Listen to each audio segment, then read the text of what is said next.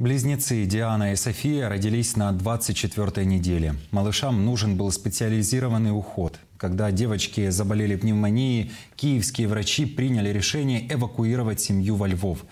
История о двух спасенных маленьких украинках далее в нашем сюжете. Диане и Софии по 7 месяцев. Сестры-близнецы уже пережили вой сирен и удары ракет, холод подвалов и давку эвакуационного поезда. Слева от меня Диана. Слева от меня Диана. Она более подвижная, требовательная. Если София на руках, то она не может это терпеть. Ее также нужно возле нас класть. Сейчас все наоборот, но София более терпеливая.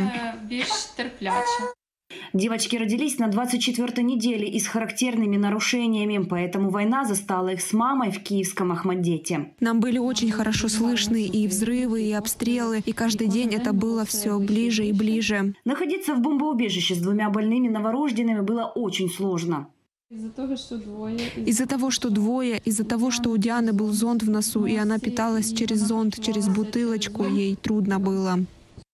В укрытии были малыши с респираторными заболеваниями. Диана и София заразились. Со временем у близнецов развилась тяжелая двухсторонняя пневмония.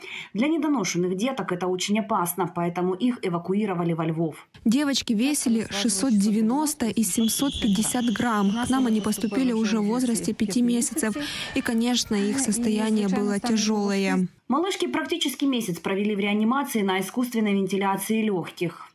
Диана была в очень тяжелом состоянии. Была организована искусственная вентиляция легких, медикаментозная поддержка, терапия с антибиотиками и все остальное. София поступила к нам после двух дней стационара, тоже с негативной динамикой. Сейчас девочки уже дышат самостоятельно, набирают вес, а их счастливая мама благодарит врачей и мечтает о победе.